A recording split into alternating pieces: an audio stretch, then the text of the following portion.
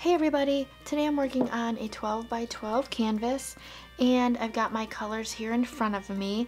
Um, I am doing another cloud effect pour using orange, black, and white, but I've changed it up a bit and I'm using um, the black cloud effect mix and that is Artist Loft Flow Acrylic Black with Deco Art Satin Enamel classic black.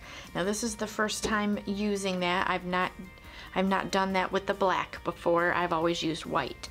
So I'm going to give that a try. And then the orange that I have, I mixed two oranges together. And this one is orange yellow from the Fine Touch. And then this one is cadmium red light hue from Liquitex Basics. And then the white from my bottle is Artist Loft Flow Acrylic. So I'm just gonna go ahead and get my gloves on and get started.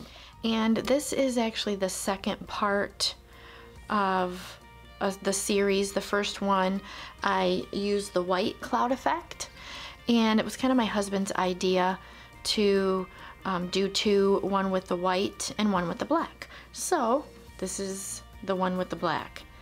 And again, this is actually the first time using that mix so I'm hoping that it turns out. Um, the first one I did with the white cloud effect turned out amazing. So I'm um, I've got my fingers crossed for for the next one here with the black. Hopefully it turns out is good.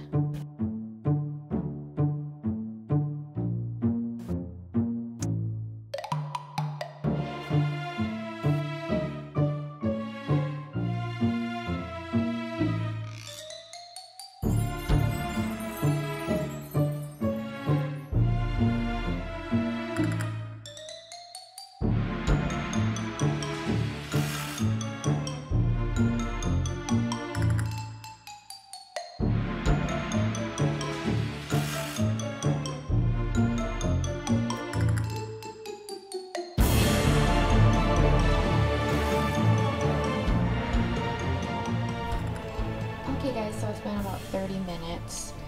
And I'll take you in so you can get a, a better look. It's turned out actually pretty cool.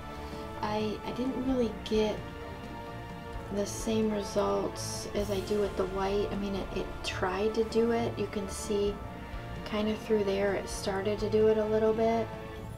Um, but I do really like this and I don't use you know, if you've watched my videos, I don't use black a lot until recently I've been stepping out of my comfort zone a bit, but I love this middle. It, it looks kind of creepy, but I still like it a lot. So I'm going to go ahead and let it dry and I will be back. Stay tuned. Hey everybody! So I just wanted to show you my my two ring pours that I did. This one was with the Cloud Effect White. And then this one was the creepy one with the Cloud Effect, Cloud Effect Black. And they both look pretty cool. So there's that.